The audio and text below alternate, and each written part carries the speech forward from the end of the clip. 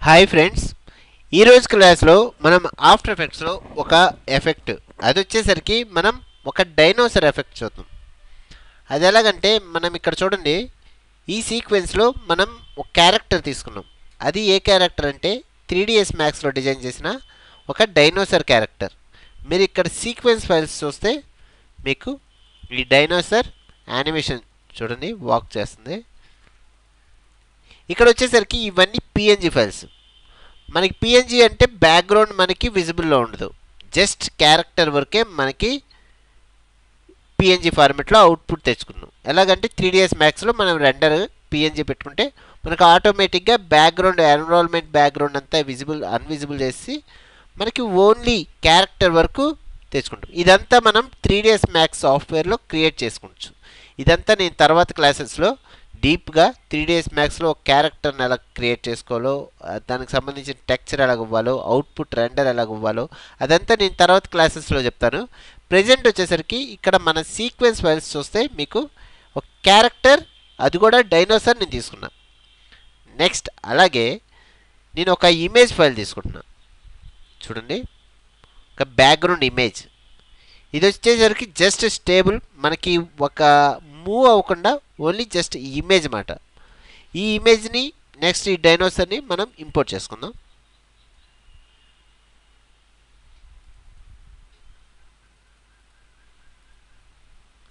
First image వచ్చేసరికి drag and drop చేసుకుంటాం okay. Next నాకేం కావాలంటే డైనోసర్.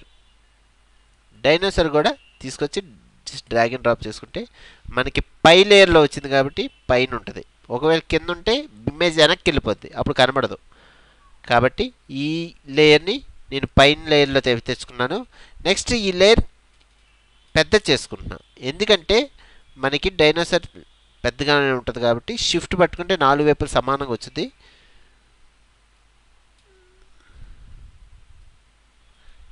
ఇక్కడ లాక్ చేసుకొని బ్యాక్గ్రౌండ్ లేయర్ దీని వరకు మనకు కావాల్సినట్టుగా మోడిఫై చేసుకోవచ్చు.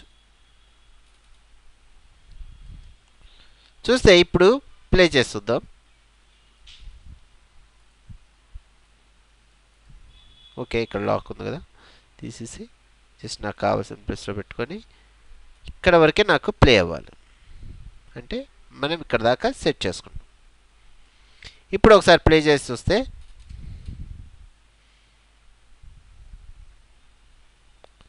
మనకి షాడోతో సహా మనకి త్రీ డేస్ మ్యాక్స్ ఫైల్ వచ్చింది.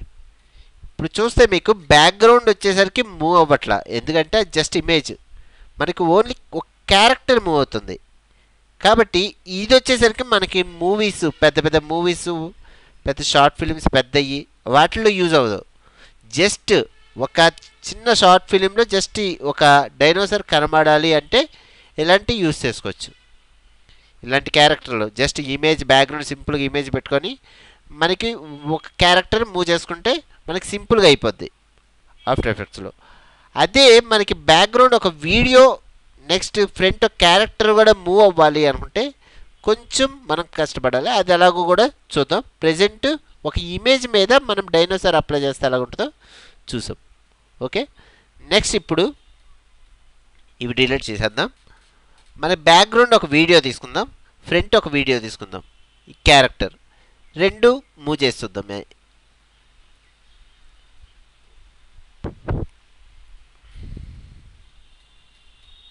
ఓకే డైనోసార్ ఓపెన్ చేసుకుంటున్నా. నెక్స్ట్ అలాగే బ్యాక్గ్రౌండ్ వీడియో బ్యాక్గ్రౌండ్ వీడియో కోసం నేను ఇక్కడ ఇంకో సీక్వెన్స్ ఉంది. ఇది జేపీజీ ఫార్మెట్లో ఉంది చూడండి.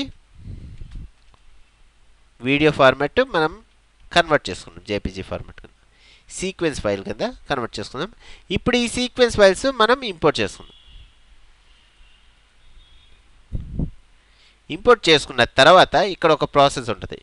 మీరు ఇక్కడ రైట్ క్లిక్ చేసి ఇంటర్ప్రిట్ ఫుటేజ్లో మెయిన్ అనే ఆప్షన్ పెట్టుకోవాలి. Control alt G shortcut ఇది పెట్టుకొని ఇక్కడ చూడండి థర్టీ ఫ్రేమ్స్ ఉంది. ఓకే అంటున్నా. అలాగే డైనోసార్ కూడా రైట్ క్లిక్ చేసి మనం మెయిన్లోకి వెళ్ళి ఇక్కడ కూడా థర్టీ ఫ్రేమ్సే పెట్టాలి. ఒకవేళ తేడా వచ్చింది అనుకోండి మనకి వీడియో రెండింటికి ప్లే ఆప్షన్ మారిపోద్ది. కాబట్టి ఫ్రేమ్స్ కరెక్ట్గా ఉన్నాయో చూడలేవో చెక్ చేసుకోవాలి లేకపోతే మనం సెట్ చేసుకోవాలి. ఓకే. ఇప్పుడు వుడ్స్ వుడ్స్ ఉన్న లేయర్ డ్రాగ్ అండ్ డ్రాప్ చేసుకుంటున్నా. చూస్తే మనకి బ్యాక్గ్రౌండ్ లేయర్ ఒకసారి ప్లే చేసి చూస్తే మనకి ఇలా ప్లే అవుతుంది. మనకి ప్లే వచ్చేసరికి స్పేస్ బార్ నెక్స్ట్ వచ్చేసరికి డైనోసర్ సీక్వెన్స్ ఫైల్ కూడా జస్ట్ డ్రాగ్ అండ్ డ్రాప్ చేసుకున్నాం. ఇప్పుడు ప్లే చేస్తున్నాం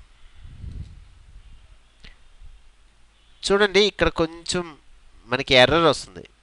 చూస్తే కింద మనకి ఆ వీడియో బ్యాక్గ్రౌండ్ వీడియోకి ఈ పైన తీసుకున్న క్యారెక్టర్ వీడియోకి డిఫరెన్స్ ఉంది చాలా డిఫరెన్స్ ఉంది చూడండి. అది ఒకలా ప్లే అవుతుంది. మనకి ఇది ఒకలా మూవ్ అవుతుంది ఓకే? ఇప్పుడు ఇది మామూలుగా అవ్వాలి అంటే మనకు ఒకే ఒక ఆప్షన్ ట్రాకింగ్. ఓకే? ట్రాకింగ్ చేయాలంటే ఫస్ట్ మనం కింద ఉన్న లేయర్ని అంటే బ్యాక్గ్రౌండ్ ఉంది కదా ఆ బ్యాక్గ్రౌండ్ ఉన్న లేయర్ని సెలెక్ట్ చేసుకోవాలి. సెలెక్ట్ చేసుకొని మనం ఇక్కడ ట్రాక్ పాయింట్ సెట్ చేసుకోవాలి. బ్యాక్గ్రౌండ్ లేయర్ సెలెక్ట్ చేసుకొని మనకి ట్రాకర్ అనే ఆప్షన్ ఉంది చూడండి. ఇది మీకు ఎక్కడ ఉంటుందంటే మెనూ బార్లో విండోలో ట్రాకర్ అనే ఆప్షన్ ఉంటుంది. ఇది టిక్ చేసుకుంటే మనకి ఇక్కడ వచ్చింది. ఓకే ట్రాక్ మోషన్ ఇక్కడ చూడండి ట్రాకర్లో ట్రాక్ మోషన్ ఇక్కడ మనకి ట్రాక్ పాయింట్ వచ్చింది. ట్రాక్ పాయింట్ మనకు కావాల్సిన ప్లేస్లో సెట్ చేసుకోవాలన్నమాట. ఇప్పుడు సపోజ్ ఈ ట్రాక్ పాయింట్ తీసుకొచ్చి సమ్ ఏదైనా ఒక పాయింట్ సపోజ్ ఈ పాయింట్ మీద.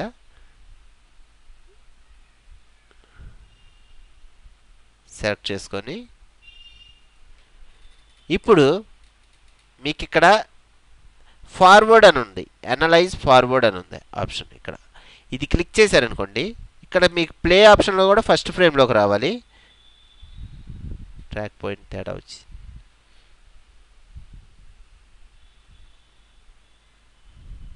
ఓకే.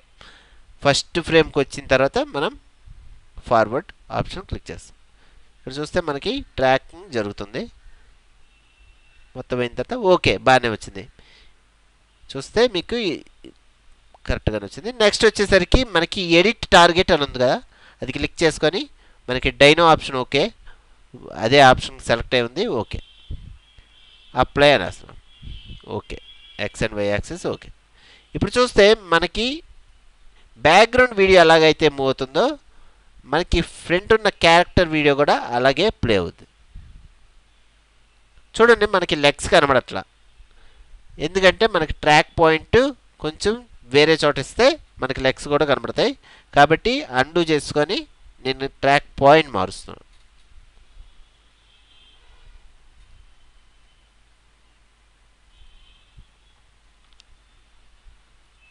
కింద లేయర్ సెలెక్ట్ చేసుకున్నా. Track motion next track point వచ్చేసరికి నేను ఇక్కడ సెలెక్ట్ చేసుకుంటున్నా.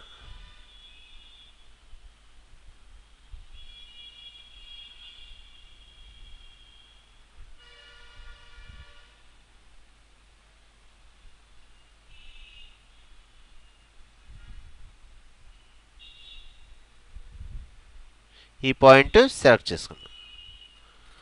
Next play option okay edit target dino okay apply okay ఇప్పుడు చూస్తే మనకి లెగ్స్ కూడా కనబడుతున్నాయి.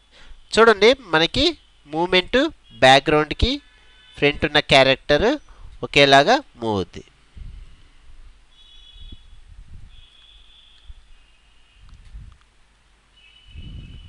చూస్తే మనకి కొంచెం పెద్ద చేద్దాం. జూమ్ చేసుకుందాం. చూడండి. మనకి రెండు ఒకేలాగా ప్లే అవుతున్నాయి. ఇలాగా బ్యాక్గ్రౌండ్ ఫ్రంట్ వీడియో రెండు కావాలి అనుకుంటే కంపల్సరీగా ట్రాక్ పాయింట్స్ సెట్ చేసుకోవాలి. ఓకే? నెక్స్ట్ మనం ఈ త్రీ క్యారెక్టర్స్ వచ్చేసరికి నెక్స్ట్ క్లాసెస్లో నేను చెప్తాను. త్రీ డీ ఎస్ మ్యాక్స్ పూర్తిగా డీటెయిల్గా నేను చెప్తాను. థ్యాంక్ యూ ఫ్రెండ్స్ నా వీడియో మీకు నచ్చినట్టయితే లైక్ చేసి సబ్స్క్రైబ్ చేసుకోండి and also share it okay thank you thank you very much